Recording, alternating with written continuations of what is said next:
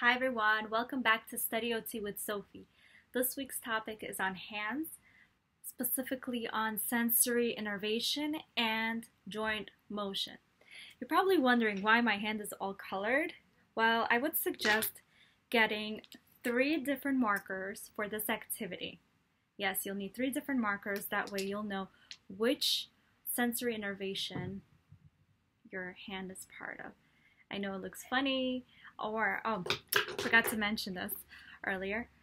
You can use a glove to do the same thing. It's just, you know, um, when you color the glove and you decide to touch things without realizing that the glove is colored on, it could transfer over to your wall, it could transfer over to things that have white coloring. Um, for instance, I'm wearing white pants and I wouldn't want that to get dirty.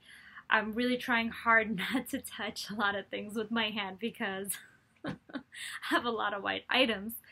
And uh, so far, I've touched my lamp that requires light touch, and I forgot that I had the hand colored. Um, yeah, I ended up with green because that's what my finger has. The pointer finger has, of course. We'll start off with joint motions.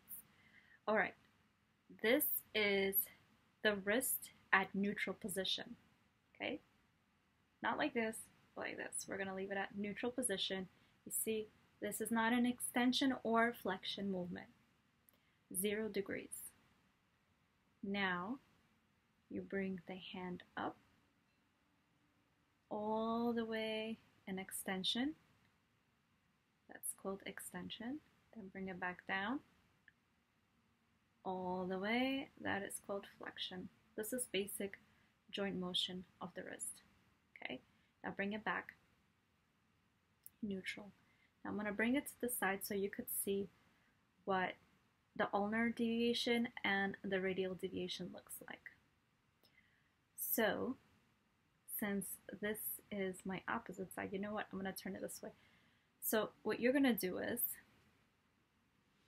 you're going to bring your hand towards the right side of the body. That's called the radial deviation. Right side of the body is radial deviation. Okay, remember that.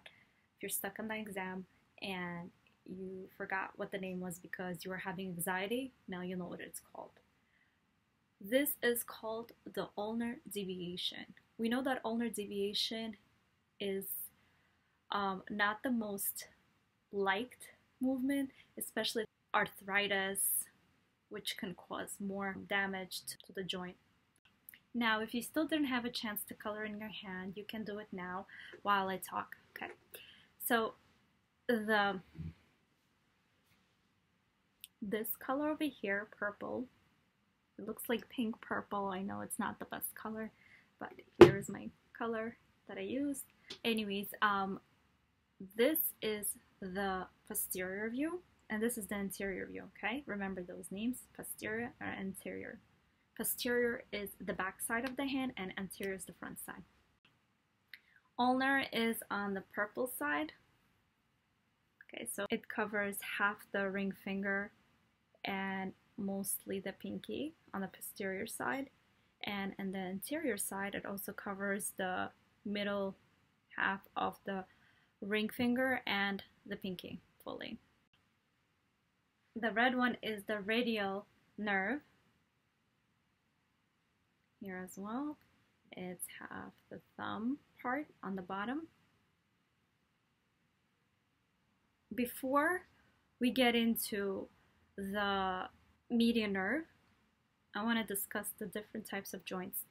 Here I have different parts of the joints that are written. So I'm going to go over just the four joints here, not the thumb, okay? Let's leave the thumb out for this video. We'll go into it next time. Um, the first one is M. The second one is P. The last one is D. So there's a hint I want you to keep in mind when you're stuck during the test. M, P, D. So how do you remember that? Or how do you remember the joints, right? M, P, D. What does it stand for? This is what comes to mind, at least to me, when I'm stuck with certain joints or certain things, especially when it comes to taking the board exam, right? Or any exam. Or even for learning experience when you're talking to somebody, you want to remember the joints. I want you to take your right hand, write the letters out M, P, D. Okay?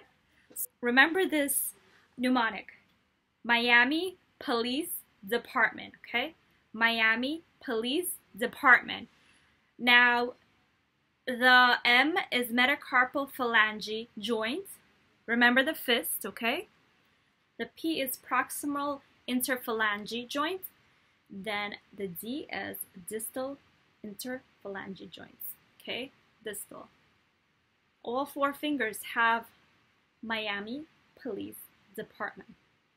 Remember that, Miami Police Department. Let's go back to the median nerve, which is the green. It covers the middle finger, the pointer finger, and half of the thumb. And here it covers from the DIP joint of the middle finger. Then it covers from the DIP of the pointer finger. Here it covers like halfway of the internal part of the thumb. Think about it. Okay. And on the ring finger, it covers half of the DIP. See that? But not fully, half of the DIP. Thank you so much for watching my video. I hope it was helpful. I know that a lot of students had questions in regards to the joints, um, having difficulty memorizing it. I hope my mnemonic helped. I know this video was really short. If you have any questions, please leave a comment down below. Um, like, share, and subscribe. Have a great day.